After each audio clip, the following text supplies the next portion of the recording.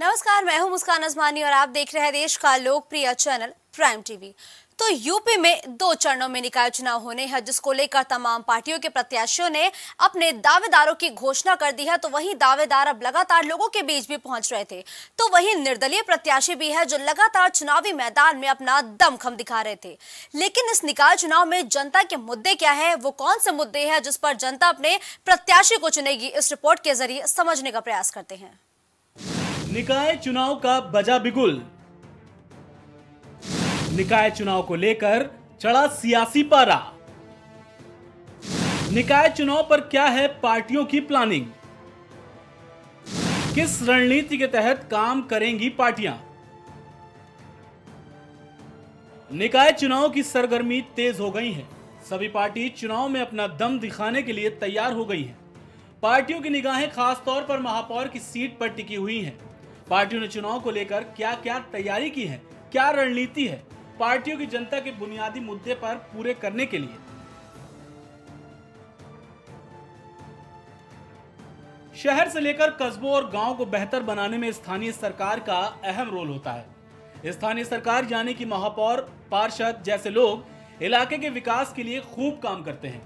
विकास की राह पर शहर और गाँव को तेज़ी से दौड़ाने के लिए कई तरह की प्लानिंग की जाती है।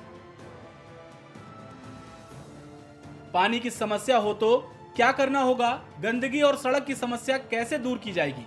बात करें पिछले निकाय चुनाव की तो साल 2017 में नगर निगम की 16 सीटों में से 14 सीटों पर बीजेपी ने कमल खिलाया था और बाकी की दो सीटों पर बसपा के हाथी ने अपना कदम रखा था। लखनऊ की महापौर की सीट की बात करें तो साल उन्नीस सौ पंचानवे से 2017 तक इस सीट पर बीजेपी का वर्चस्व रहा है। बीजेपी ने लगातार इस सीट पर बाजी मारी है। वहीं इस बार बीजेपी ने लखनऊ की सीट पर सुषमा खरकवाल पर दांव लगाया है, जबकि सपा ने वंदना मिश्रा पर भरोसा जताया है। इसके अलावा बसपा की शाहीन बानो और कांग्रेस से संगीता जायसवाल चुनावी मैदान में है। निकाय की जंग लखनऊ सीट से मेयर प्रत्याशी। सुषमा खरकवाल प्रत्याशी बीजेपी। वंदना मिश्रा प्रत्याशी एसपी। शाहीन बानो प्रत्याशी बीएसपी। संगीता जायसवाल प्रत्याशी कांग्रेस। साफ़ सफ़ाई जो हमारा काम छोटा है। अभी अभी अभी अभी।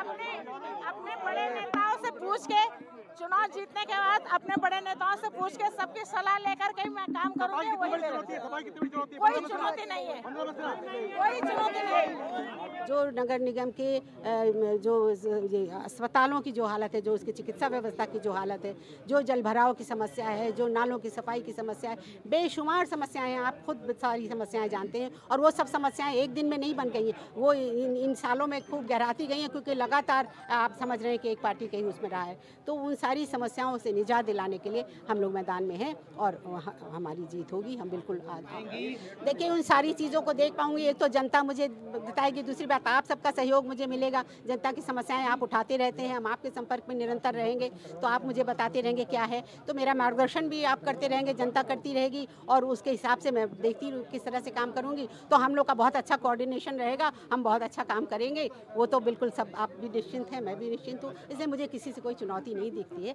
धन्यवाद आगे की लखनऊ की जनता के हित में जो काम होगा उसके उसी पे आगे हम बढ़ेंगे।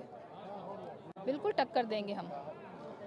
बिल्कुल पूरा बराबर का उनसे उनको टक, उनको टक्कर देंगे। जनता के हित में जो भी मुद्दे उठेंगे चाहे वो महिला सुरक्षा हो चाहे वो पढ़ाई लिखाई हो चाहे वो सीवर से चाहे सफ हाँ बिल्कुल सफ़ाई है सीवर है। जिन चीज़ों से जनता यूजली जूझती है उन सब लेके उन सब मुद्दों को आगे लेके हम बढ़ेंगे। साल 2023 के निकाय चुनाव दो चरणों में होंगे। पहले चरण की वोटिंग 4 मई और दूसरे चरण की वोटिंग 11 मई को होगी, जबकि 13 मई को नतीजे आएँगे। मेयर और पार्षद के चुनाव, ईवीएम और नगर पालिका व नगर पंचायत के चुनाव बैलेट पेपर के ज़रिए कराए जाएँगे। यूपी नगर निकाय के चौदह पदों पर चुनाव होंगे। प्रदेश के 17 महापौर और 1420 पार्षद के चुनाव ईवीएम से होंगे। नगर पालिका और नगर पंचायत के पदों पर बैलेट पेपर से मतदान होगा। इसके अलावा चुनाव आयोग ने संवेदनशील इलाकों में ज़्यादा पुलिस रखने के निर्देश दिए हैं। नगर पालिका परिषद के एक सौ निन्यानवे अध्यक्ष और 5,327 सदस्यों का बैलेट पेपर से वोट डाले जाएँगे। इसके अलावा 544 नगर पंचायत अध्यक्ष 7,178 सदस्यों का चुनाव भी मतपत्रों से होगा। जनता के मुद्दे। बेहतर पेयजल व्यवस्था। साफ़ सफ़ाई का विशेष इंतज़ाम। दुरुस्त सड़कें और नालियाँ। जल निकासी की हो बेहतर व्यवस्था। तो इस बार निकाय चुनाव में कौन सी पार्टी अपना जादू चला पाएगी और कौन सी पार्टी अपने वादों के ज़रिए जनता को लुभा पाएगी?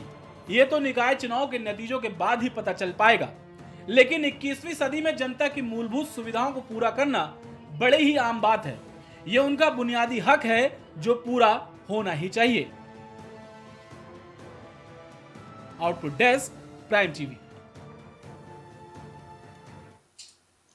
निकाय चुनाव के जो पहले चरण का मतदान है, वो चार मई को होगा, जिसके लिए जब हमारी टीम लोगों के बीच पहुँची और लोगों की समस्याओं को सुना तो लोगों ने साफ़ तौर पर कहा कि जल निकासी के साथ छुट्टा जानवर और साथ ही साथ साफ़ सफ़ाई की बहुत बहुत ही ज़्यादा दिक्कतें हैं। ऐसे में जो भी प्रत्याशी इन मुद्दों पर काम करेगा, जो हमारे क्षेत्र के विकास की बात करेगा, वही हमारे लिए प्रत्याशी होगा और उसी को हम विजय बनाएँगे और उसी को वोट देंगे। फ़िलहाल इसका खुलासा तो तेरह मार्च, तेरह मई को ही होगा जब इसके नतीजे आएँगे, लेकिन उसके लिए हम सभी को इंतज़ार करना पड़ेगा कि आखिर जनता की पसंद बनकर कौन उभरा है। हमारे इस रिपोर्ट में फ़िलहाल के लिए बस इतना ही। देश की तमाम बड़ी खबरों के लिए आप देखते रहिए प्राइम टीवी।